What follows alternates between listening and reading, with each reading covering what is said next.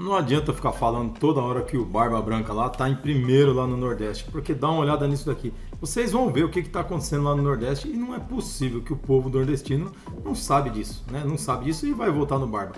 Isso aí é conversa para boi dormir. Olha aqui, ó, água em abundância. O município de Inajá, inserido no, na microrregião do Sertão de Michotó, em Pernambuco, acaba de ser contemplado com um poço profundo que beneficiará cerca de 100 pessoas. Ação é, tem como objetivo contribuir com as famílias carentes da região. Eu vou mostrar para você agora aqui, mas pega esse vídeo aí, pega esse vídeo aqui, tá? É lá do Ministério do Desenvolvimento Regional. Pega esse vídeo e compartilha lá em vários grupos. Dá uma olhada agora aqui a quantidade de água. Eita, a casa caiu de vez, não tem jeito não. Dá uma olhada aí.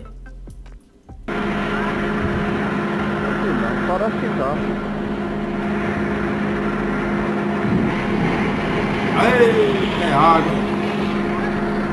Olha isso. Eita.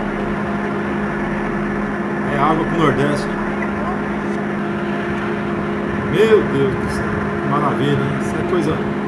Bênção de Deus, hein? Não adianta eles ficar falando que o, que o presidente está em segundo, está perdendo o Nordeste, porque olha aqui, ó. Quantos e quantos anos eles estão esperando a água chegar lá? Dá uma olhada que coisa, que coisa bonita, olha isso. Tá filmando, tá?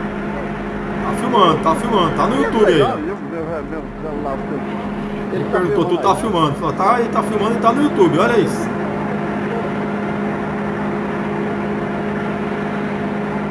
Eita, é água demais, hein? Compartilha esse vídeo aí lá no grupo da família do WhatsApp lá, hein?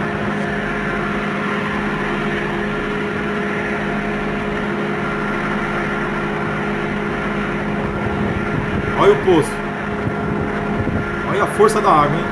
Nunca fizeram isso porque não quiseram. É isso aí. Imagina só se fosse os outros que tivessem aí. A água nunca chegaria no, no, lá no Nordeste porque eles ficavam fazendo favor, né? Levando caminhão-pipa lá, dizendo que um dia ia chegar. A casa caiu de vez. Essa agora é a realidade do Nordeste. Não esquece de se inscrever no canal e deixar o seu comentário. Um abraço e até o próximo vídeo.